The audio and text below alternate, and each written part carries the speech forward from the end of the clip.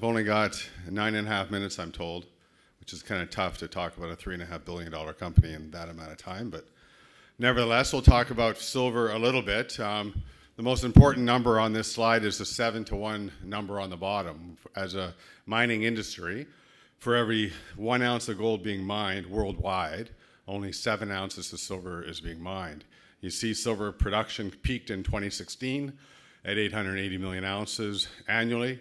Uh, it's last year, 2020, we're down at about 740 million ounces. Uh, we're expecting 2021 might be a little bit of an improvement. We're expecting to see it closer to 800 million ounces, but nevertheless, we're consuming over 1 billion ounces of silver annually, and we're in deficits and have been in deficits for over a decade, and it's getting to be a pretty critical situation. It hasn't shown up in price really to any great degree. Um, when I put the company together back in 2002, silver was trading at $5. It's $25 today, so it's not that bad. But it's the only metal that has not achieved its all-time high, which was, uh, which was reached back in 1980 at $50. In 2011, it just touched 10, 10 or 20 cents below 50. I think the high that night was 49.80. So what's driving demand? Well, electric, you know, everything we do as a human race requires silver. We wouldn't be here today without silver. Your home would not operate. None of the gadgets that you take for granted would, would not operate. Electric cars, a relatively new industry.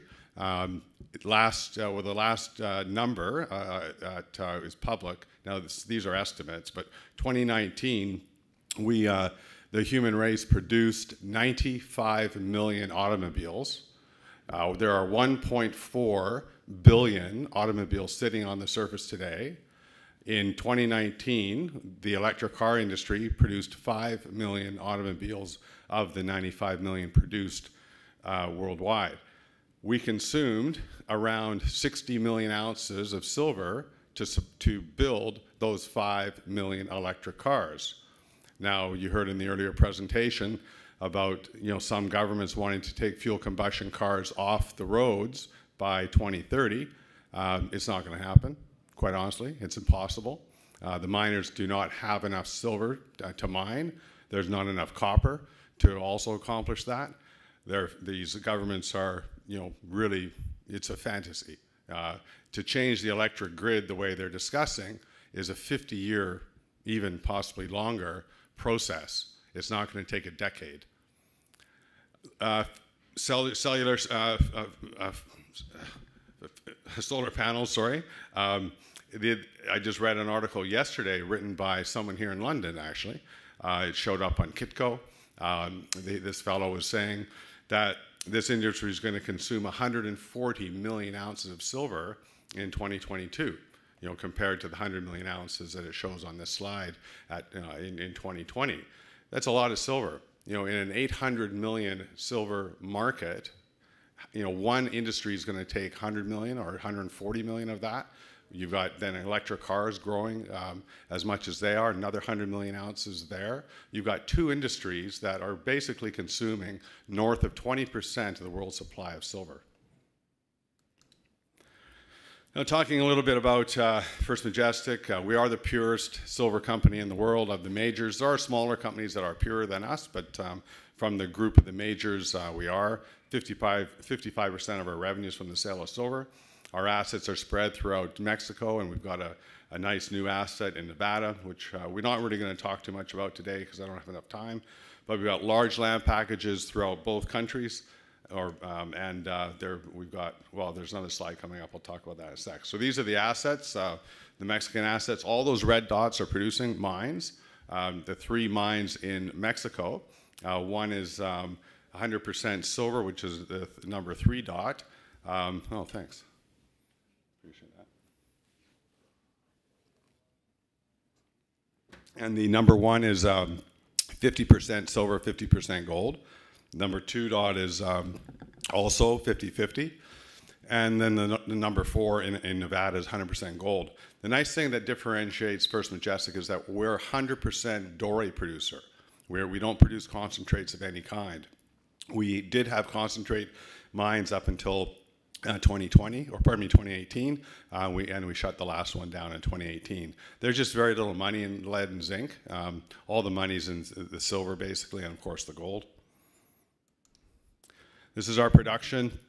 We were expecting to see a record 2020, but unfortunately, due to COVID, we had to shut some of the operations down, as many of you probably know. So we had a bit of a setback. But 2021 is looking like a fantastic year for us um, you know, 25 million silver equivalent ounces, um, of which, as I said, you know, 55% of that silver and the rest is the gold. And 2022 is going to be another uh, bang up year for us. Our exploration program, we've got 27 rigs active throughout our portfolio, drilling you know, almost 300,000 um, 300, uh, meters of drilling, largest drill program ever in the company's history. And you see on the gray bar on the bottom there, the grades are going up. So not only are the reserves going up, but the grades are going up as well, which is pretty fantastic. Uh, you don't see that very often. And you know, talking about ESG, uh, we converted over our last uh, mine, which was on diesel, uh, to LNG just recently, actually in April of this year. Uh, we'd converted over um, another mine called La about five years ago from diesel to LNG as well. And it worked out so well for us, we decided to, to do the same thing for the Santa Elena operation. Now we're using very little diesel, you know, compared to history.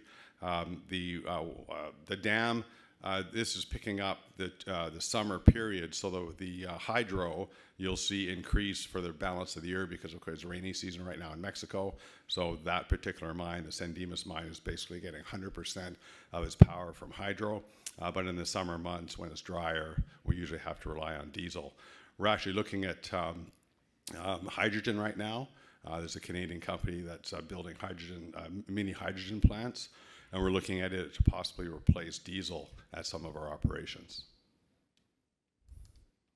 And that's the LNG plant, which we're now up and running. It's uh, operating at about, as it says, you know, 12 uh, megawatts there, supplying 90 some odd percent of the energy needs of that operation. It's a pretty big facility. The market cap at First Majestic, as I said, is about three and a half billion. Uh, balance sheet is cleaner, better than it's ever been in the company's history. Uh, breakdown of the shareholders there.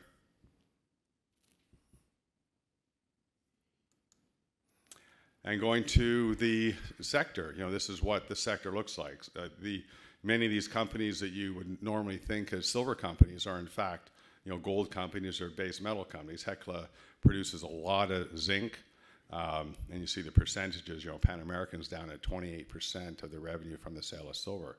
It's tough being a silver company. Silver mines are very, very rare. They're hard to come by. Um, and lots of cases they're, they're in Latin America. And with Latin America looking the way it's looking these days, with you know in, in Argentina and um, Peru falling into pieces, uh, no one really wants to go there and invest in these mines. Uh, uh, mind you, they're base metal mines. You know, most of them are lead and zinc mines with silver credits, but there's just no investment going on in Latin America right now. So I don't see this changing. I don't see any big silver mines coming online. Um, and, and we're just, you know, this, the, the, supply is dropping, as you saw from that previous uh, uh, slide, and demand is increasing at about, you know, 5 to 6% annually.